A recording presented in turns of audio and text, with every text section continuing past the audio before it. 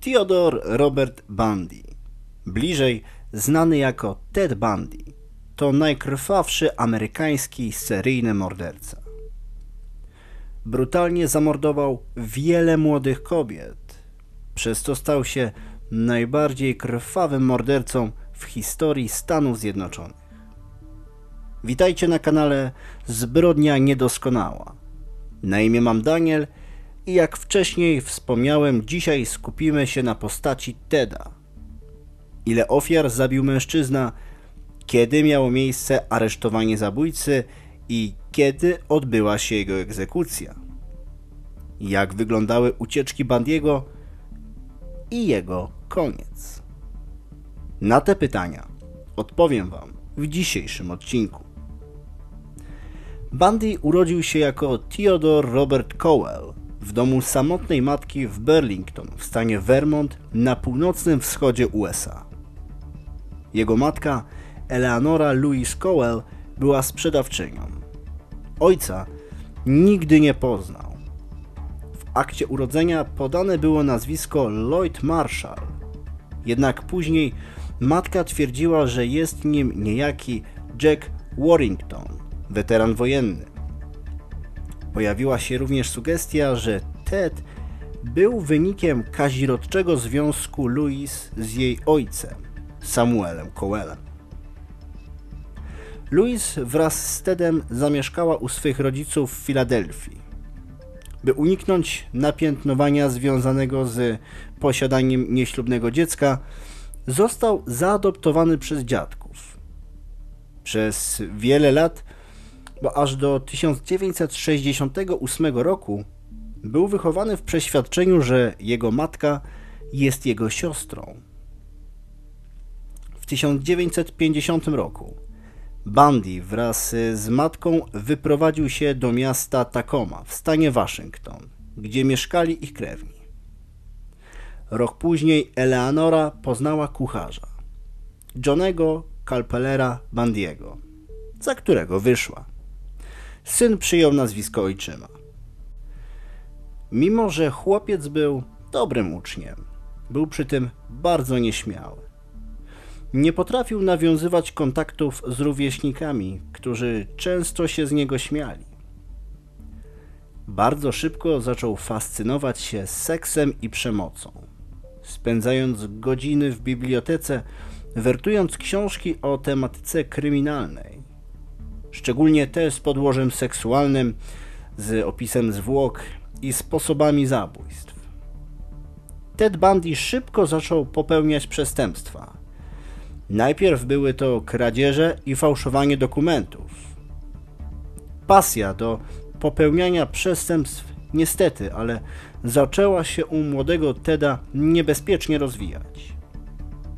Wtedy jeszcze nikt nie podejrzewał, że Ted Bundy zyska w przyszłości niechlubną sławę niczym londyński Kuba rozpruwacz.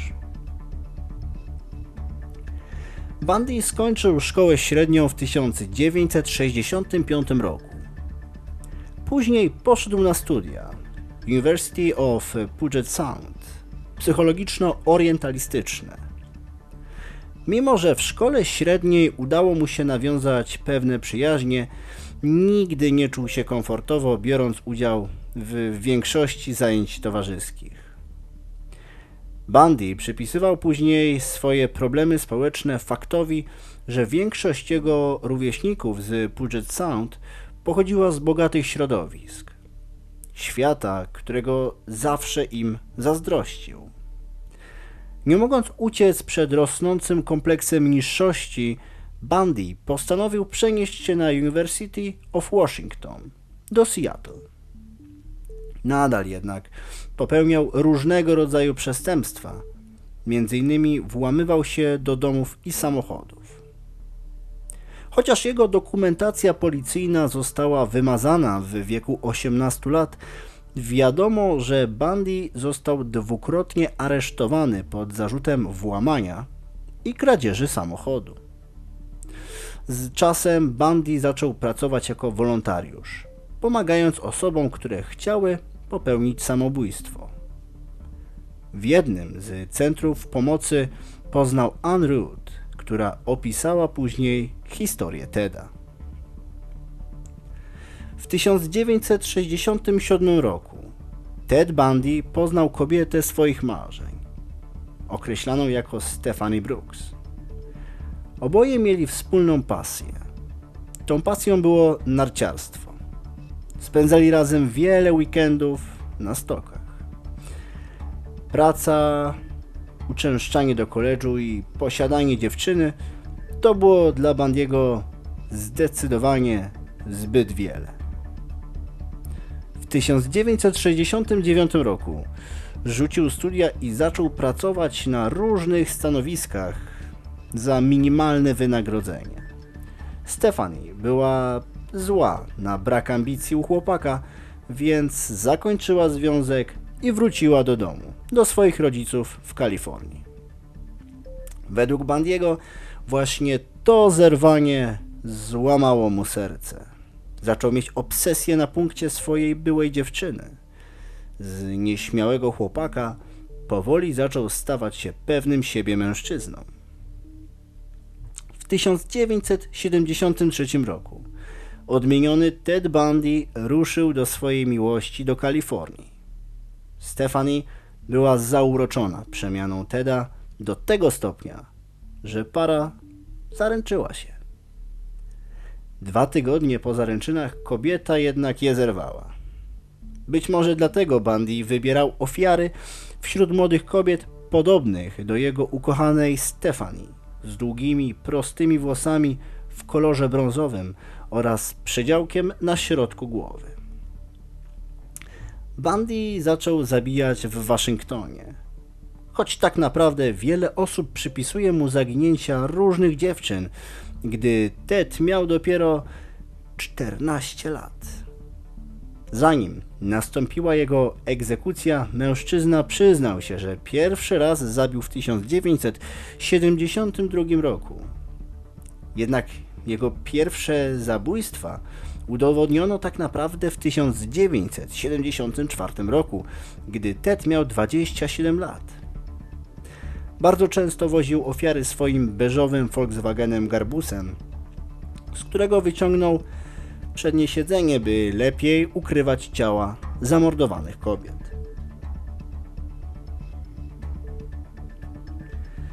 Morderca zabił wiele kobiet, jednak pierwsze ślady wskazują na 18-letnią tancerkę, którą Ted wykorzystał seksualnie już po rzekomym zamordowaniu. Ted miał skłonności do nekrofilii. Całe szczęście. Dziewczyna przeżyła. Jednak jej mózg doznał licznych i trwałych obrażeń, ponieważ została zaatakowana prętem z łóżka, otrzymując wiele ciosów w głowę.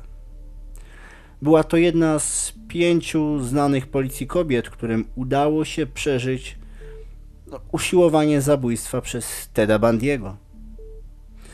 E, Oto kilka dat zabójstw oraz nazwisk pierwszych ofiar brutalnego mordercy.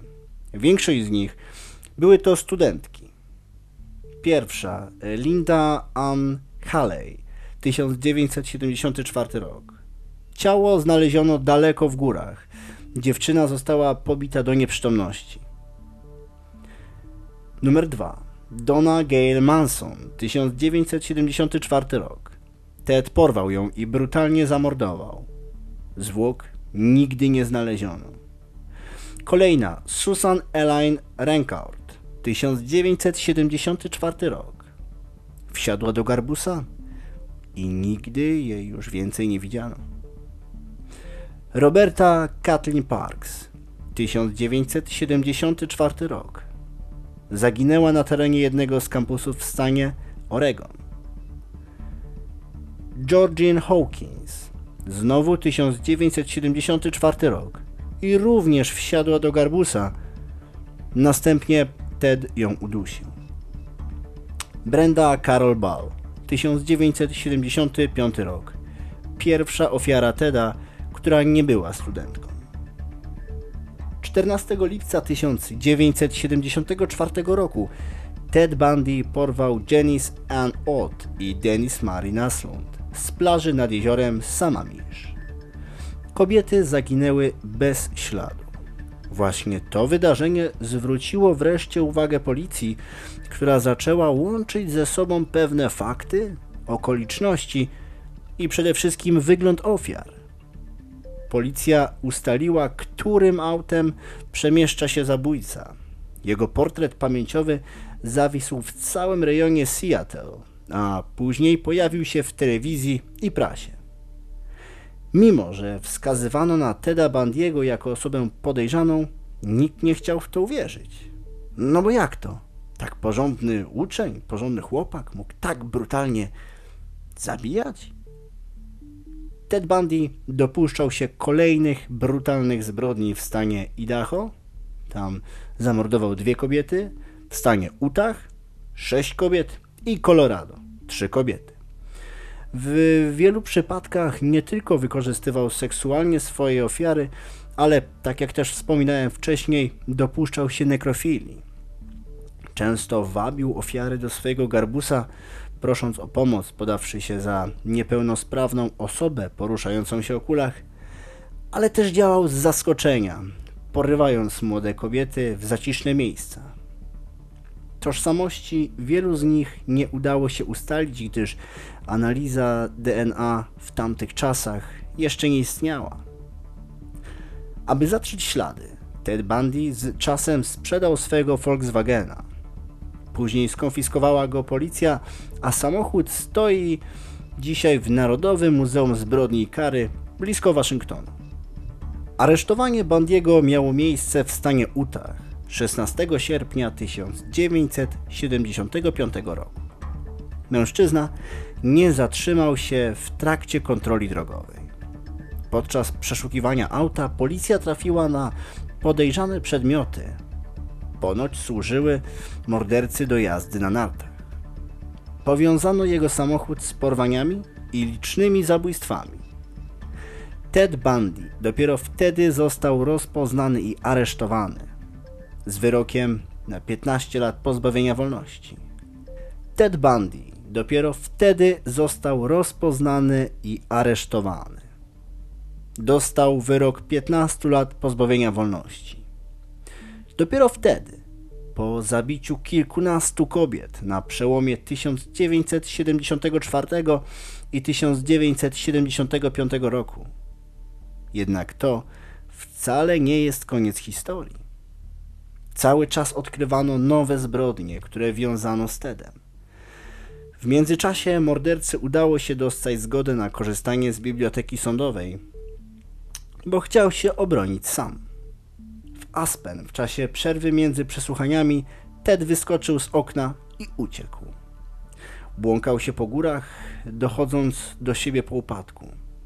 Jednak policjanci złapali go po sześciu dniach. Bundy czekał później na nowy proces, jednak cały czas pragnął wolności.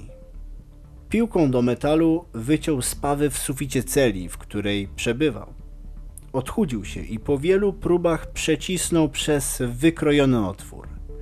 Przedostał się do składu na bieliznę naczelnika więzienia, uciekając przez jego mieszkanie. Dopiero kilkanaście godzin później okazało się, że Ted zniknął.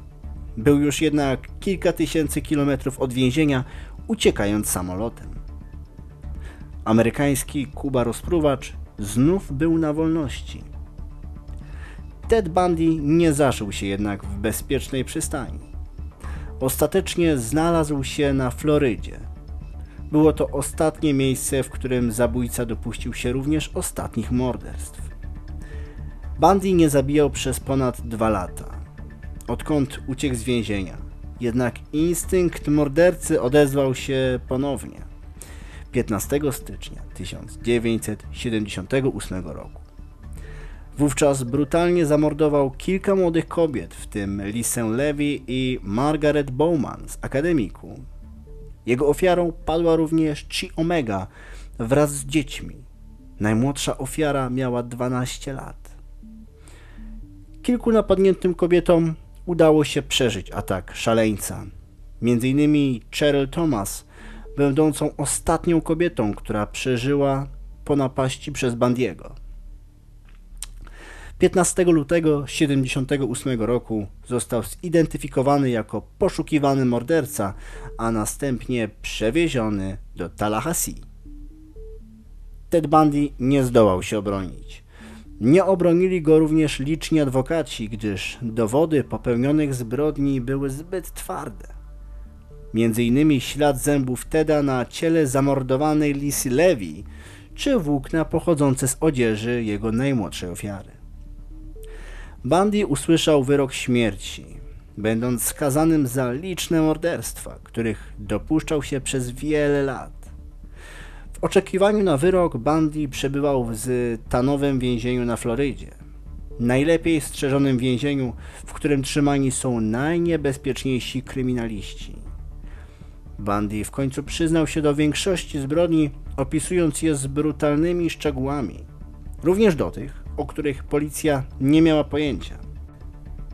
Oczywiście to nie pomogło mu jednak odsunąć zbliżającego się wyroku, jakim była kara śmierci.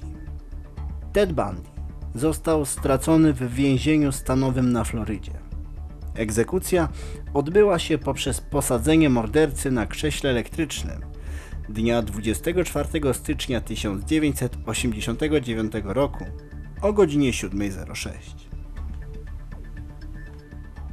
Ted Bundy zmarł mając 42 lata oraz 30 zabójstw dokonanych na swoim koncie. Całkowita liczba morderstw Bandiego nigdy nie została jednak odkryta. Na dzisiaj to wszystko. Jeżeli odcinek Cię spodobał, zostaw łapkę w górę oraz zasubskrybuj kanał. Do usłyszenia w następnym odcinku.